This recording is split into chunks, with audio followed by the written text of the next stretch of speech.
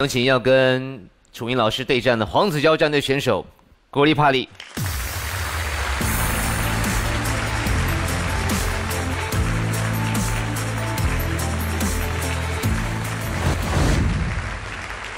国立，你准备好了吗？准备好了。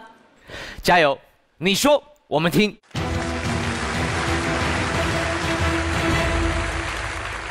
在开始演讲之前，我想先问问大家。还记得你们十九岁的时候在做什么吗？嗯，记得。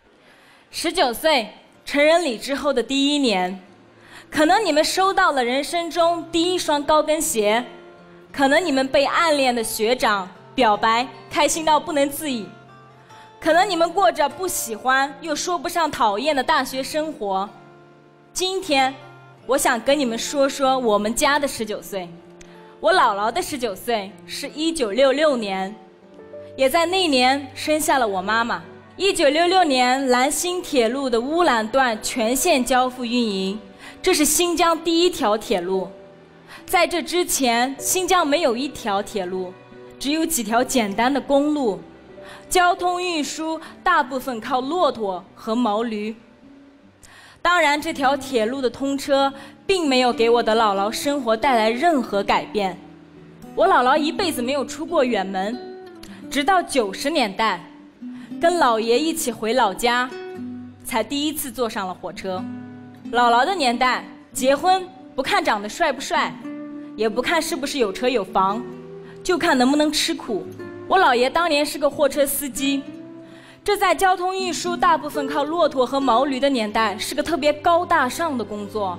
所以姥姥对我姥爷特别满意，我姥爷一年四季天南海北的跑，一个月在家只待一两天，他对于这个家来说就像是一个过客。生我妈的时候，姥爷也没在身边。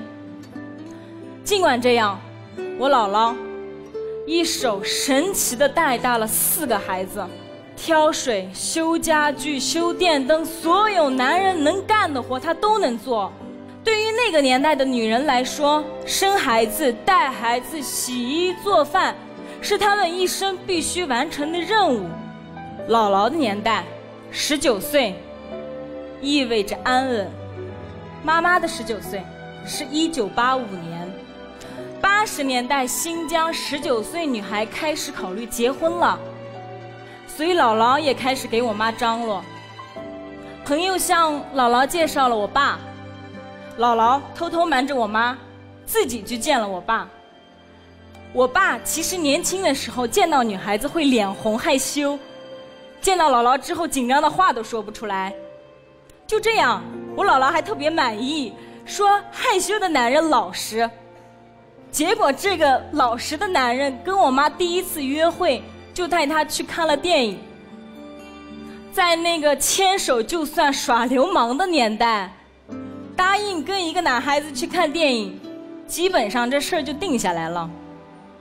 后来我爸跟我说，那天你妈穿了一身红色的连衣裙，真漂亮。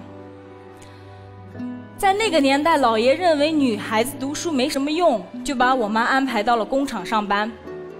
那年正好是新疆维吾尔自治区成立三十周年，大街小巷挂满了横幅，工厂里的广播每天循环宣传着这一盛事。但是我妈一心只想考大学，所以她只能边工作边学习。她为了能考上，每天半夜偷偷拿着手电筒蹲在院子里看书。一年以后，他终于如愿以偿的考上了。那时候，我妈就觉得他这辈子不能只当一个工人。妈妈的年代，十九岁意味着改变。我的十九岁，二零一三年，我大一。那年，我们同龄人对外来文化已经欣然的接受了，喜欢欧美流行的装扮，也是那年。第一艘航空母舰建立的时候，我跟我爸在电视上看到辽宁舰的时候，我爸转头跟我说：“如果有一天你能上大船就好了。”我当时想，这怎么可能？我虽然很向往外面的世界，但那是辽宁舰啊，我能登上去吗？后面的事大家都知道。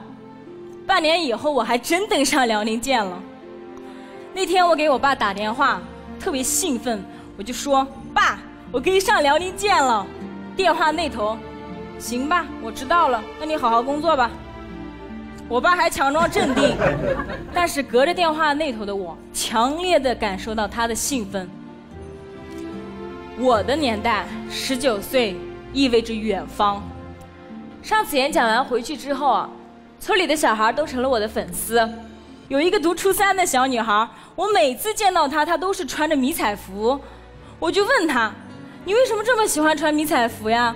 她说：“我想长大以后像你一样成为优秀的女兵。”那一瞬间，我感觉自己特别伟大。我居然能用我的正能量去让一个小女孩对未来有了梦想，这对我来说是世界上最有成就感的事情。我相信她的十九岁会更加绚烂。我们家三个十九岁经历了三个时代，也见证了新疆的发展。姥姥的年代，从南疆到北疆，公车要走十五天。妈妈的年代。火车走五天，我的年代飞机只要一个小时。过去，每家每户只有几匹马、几只羊，现在出门跨上摩托车，电瓶车替代了毛驴车，越来越多的农民进了工厂，有事儿干，有钱赚，越来越多的年轻人走出新疆，走向世界。新疆。从一条铁路都没有的地方，现在成了交通发达的现代化城市。从西部大开发的排头兵，到向西开放的桥头堡，再到丝绸之路核心经济开发区，新疆走过了六十年，这六十年充满了腾飞和希望。如今，我特别感谢我这个时代，因为它。赋予了我可以做梦的资格，因为它赋予了我可以有梦想的权利，因为它赋予了我可以实现梦想的机会。